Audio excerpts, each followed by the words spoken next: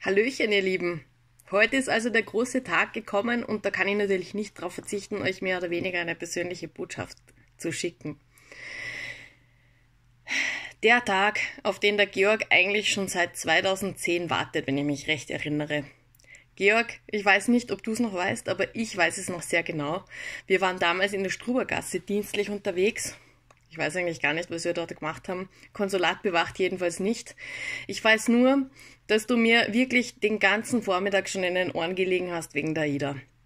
Und sie ist die perfekte Frau und du wirst sie heiraten und ich muss zugeben, ich war richtig entsetzt. Ihr habt euch doch erst ein paar Monate gekannt und jetzt drehst du schon komplett am Rad und ich habe nicht gewusst, was ich dazu sagen soll oder was ich dir raten soll. Ich war ehrlich gesagt etwas entsetzt über deine Euphorie. Aber Gott sei Dank hast du dann eh selbst erkannt, naja, vielleicht wäre es ja doch nicht so schlecht, zumindest einmal ein gemeinsames Jahr zu erleben mit allen Jahresfesten und Jahreszeiten und was da so ist und dann noch einmal neu zu überlegen, wie es weitergehen soll bezüglich Hochzeit und so. Ja, Aida, du bist meine älteste Freundin auch wenn sich vor circa sieben Jahren da unsere Wege getrennt haben, beziehungsweise ich einen Weg ins Waldviertel eingeschlagen habe und wir jetzt aufgrund unserer ereignisreichen Leben leider nicht so viel Kontakt haben, uns nicht so oft sehen und hören, wie wir es wahrscheinlich beide eigentlich wollten.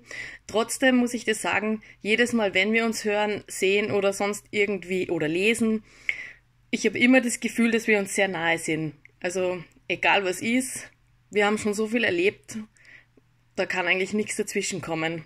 Höhen und Tiefen, erstes Verliebtsein, Jugend, Zukunftsplanung, Studium, hunderttausend Sachen. Aufregende und gemütliche.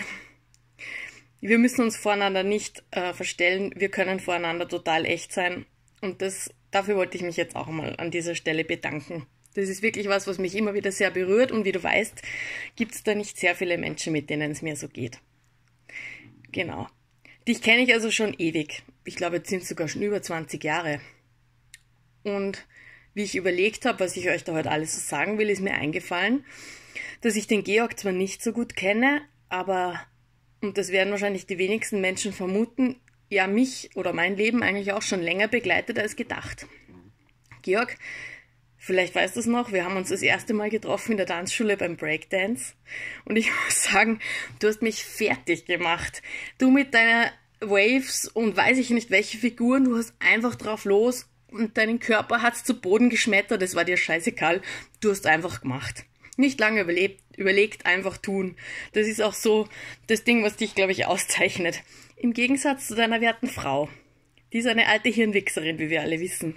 Die überlegt alles 5.364.402 Mal, macht Listen, berät sich mit anderen Menschen, zum Beispiel mit mir und irgendwann trifft sie, trifft sie dann einmal eine Entscheidung. Und ich muss zugeben, vor allem in der Anbahnung eurer Beziehung hat mich das schon so einige graue Haare gekostet. Ich war gerade gestern mal im Friseur und habe gesehen, ich habe da eine graue, graue Strähne. Aida, vielleicht warst du das. Es war nämlich so, dass ich eines Tages im Nachtdienst war mit unserem Kollegen Yoshi und wie ein Blitz ist es über mich hereingebrochen, diese Erkenntnis, Aida und Georg. Also, wenn die zwei nicht zusammenpassen, Wer dann? Hey, wie die Faust aufs Auge. Und ich habe beschlossen, ich muss euch irgendwie verkuppeln. Aber ich weiß, hab gewusst, ich muss diskret vorgehen, weil die Aida, weiß ich nicht so genau, wie die auf meinen Vorschlag reagiert. Sie kennt ja den Georg nicht und überhaupt. Also der Georg war sofort Feuer und Flamme für meinen Vorschlag. Ähm, ich glaube, der hätte sich auf der Stelle mit dir getroffen, Aida. Aber Ida war sich ein bisschen unsicher, hat lange überlegen müssen und so hat das alles gefühlt für mich ewig gedauert, bis ihr endlich erkannt habt, was ich damals dann eben schon lange erkannt habe und ihr euch gefunden habt. Jetzt im Nachhinein muss ich sagen, ich kenne den Georg eben schon ewig, also ich glaube, das war, pff, ja, keine Ahnung, 17 oder 18 Jahre auch schon. Aber es wird schon seinen Grund gehabt haben, warum mir dieser Einfall erst 2010 gekommen ist. Es hat einfach seine Zeit gedauert, bis ihr füreinander reif wart. Und so diese letzten Jahre haben mir auch gezeigt, dass ihr miteinander, aneinander sehr stark gereift seid, ihr habt euch aneinander gerieben, ihr habt viel erlebt, ihr habt jetzt mittlerweile ein sehr, sehr gutes Fundament für eure zukünftigen partnerschaftlichen Lebensherausforderungen geschaffen.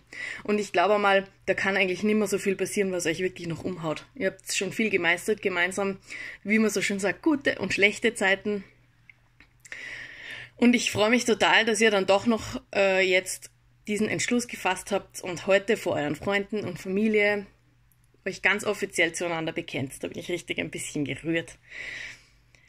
Ich bin in Gedanken ganz bei euch und ich freue mich, dass wir heute also dass wir, ich bin zwar nicht dabei, nur indirekt, aber ich bin in Gedanken bei euch und freue mich, dass ihr heute einen, hoffentlich einen wunderschönen Tag gemeinsam verlebt. Den schönsten Tag eures Lebens sozusagen. Ich hoffe, da kommen auch noch mehr. und dass ihr eure Zukunft als, also eurer Zukunft als Gefährten beim Pferdestehlen, Diskussions- und Streitpartner, als Liebespaar, als Eltern und als beste Freunde so gestalten könnt, wie ihr euch das wünscht. So, viel Spaß heute, feiert's gescheit. Sophie, die Kupplerin Herzog, Ende.